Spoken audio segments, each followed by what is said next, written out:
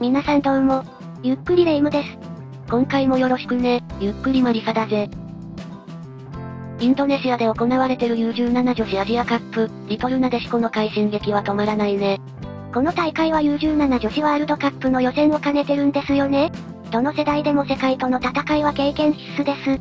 この大会で2戦目のオーストラリア戦で失点こそしたものの、対、オーストラリア、そして昨日行われた中国に全勝。グループ3試合全てで4ゴールを挙げて12得点1失点3勝0敗というほぼ完璧な内容で勝ち上がった。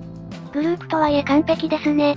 U17 ワールドカップへ出場するにはこの大会で3位までに入る必要があるものの、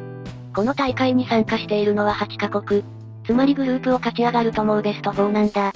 ということはベスト4で勝てば文句なし、ダメでも3位決定戦という保険もあるわけですね。グループも全て終わり、ベスト4の組み合わせも終了。日本は韓国と決勝の座を争うことになり、もう1枠は北朝鮮と中国が戦うという東アジア勢で争われることに。北朝鮮は A 代表でも日本を苦しめる存在ですし、韓国といえば対日本に異常な力を発揮する国。中国はグループで叩いていますけどこの先はしっかりと気を引き締めないと。もちろんそうなんだけど、U17 なでしこの戦いぶりはこの先に少し安心できるものでもある。日本は盤石の試合展開で中国を圧倒したグループ最終節。敗れた中国の現地メディアは U17 なでしことの試合について、日本チームとは大きな差がある。という見出しで試合を振り返り、前半戦は中国女子サッカーチームが完全に抑え込まれていたとも言え、戦術や心理面で日本チームとは差があった。特にメンタル面の体制に関しては日本チームとは大きな差がある。と精神面のひ弱さを敗因に挙げ、中国は日本に4失点で完敗したが、データ上でもかなり差をつけられた。シュート数は、日本が23本で中国はわずか4本。コーナーキックの回数で見ると、日本が9回だったのに対して、中国はたったの2回だった。とスタッツの部分でも圧倒的に押し込まれていた部分も指摘。結局のところ、日本チームは優勝候補であり、最も強いチームだった。と U-17女子代表を称賛。というのもこの大会において U17 女子代表は圧倒的な実績を残している。ここまで8回の開催の歴史がある U17 女子アジアカップにて、日本は最多の4度優勝。優勝を逃した大会でも2度の準優勝、3位が2回と安定した成績を残している。2022年大会がコロナで中止になった影響で前回大会は2019年大会になるけど、2019大会で日本は優勝。今大会では連覇を目指している。中長期的に若い世代の育成がうまくいっているという証拠ですね。前回大会の2019年大会を見ても育成については順調であるということがわかると思うよ。予選のアジアカップでは浜野舞香は得点王となり U17 女子ワールドカップはコロナで中止になったものの、この世代で挑んだ2022年 U20 女子ワールドカップでは準優勝。浜野舞香は大会 MVP に輝き、それ以外にも藤野青葉、石川リオンらなでしこに呼ばれる選手も出てきているし、同じく2022年に行われた U17 女子ワールドカップは日本はベスト8で敗退となったものの、大会得点王は谷川桃子。谷川はこの時からすごかったんですね同じく谷川と共に10代ながらなでしこで頭角を現しているディフェンダー古賀もこの大会を経験している。今回のメンバーも層の厚さでは負けていない。チームが立ち上がった昨年3月から招集されたのは55名。この人数は過去の同世代と比べても最多で2度の海外遠征を含む7回の合宿を行い世界を目指す形をとっており、それらを経て選ばれた23名のうち WE リーグの下部組織でプレーする選手が14名を占めている。WE リーグはなでしこ強化に欠かせませんね。すでにトップチームに登録されて試合に出ている選手もいるし、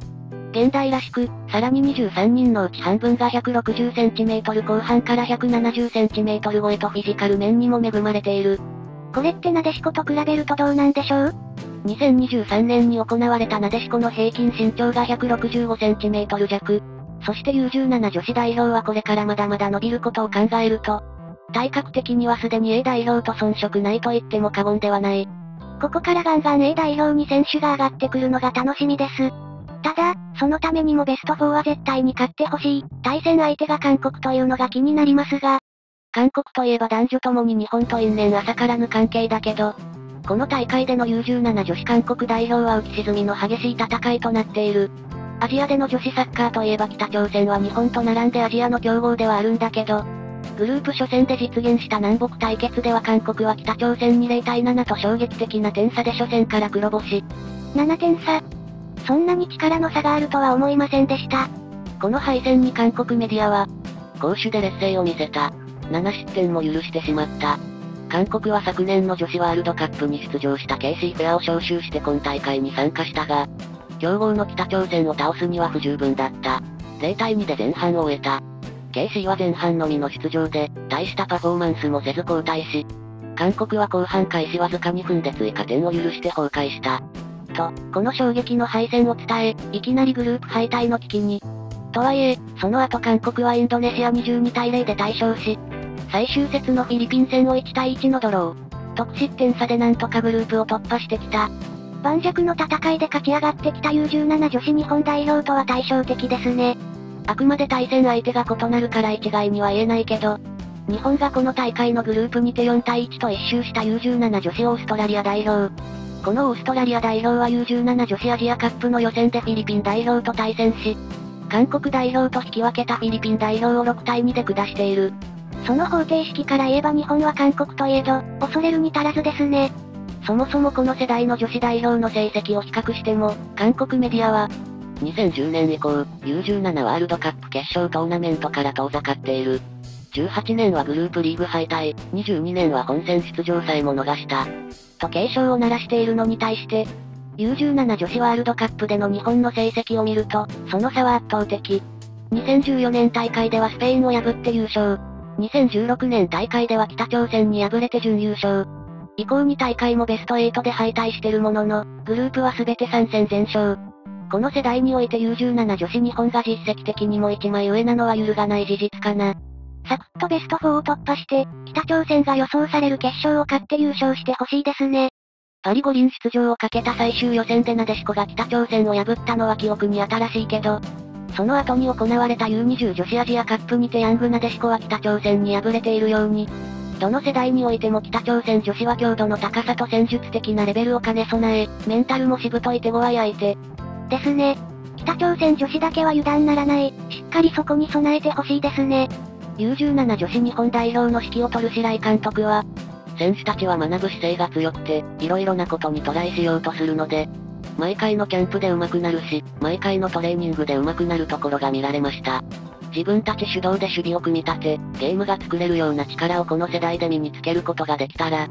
次の U20 世代ではさらに違うことにもチャレンジしていけると思います。とこの代表のポテンシャルに大きな可能性を感じている。韓国戦では、前回の U17 女子ワールドカップにも飛び級で出場し、ここまで全ての試合でスタメン出場している首相の心情。ディフェンダーの麻生の二人をどう起用するかも注目だけど、それ以外はターンオーバーでコンディションにも余裕があるし、何より12ゴールを挙げているこの内訳を見ると特定の選手ではなく8人が得点を決めているなど、チーム全体に余裕を持ってベスト4まで勝ち進むことができている。ベスト4はいつですか？日本時間5月16日の16時キックオフ。中2日という日程で、韓国側は中3日と日程面では少し不利な面はあるけど、跳ね返す実力はあるはず。リトルなでしこがしっかりと世界の切符を手にするところを見届けたいね。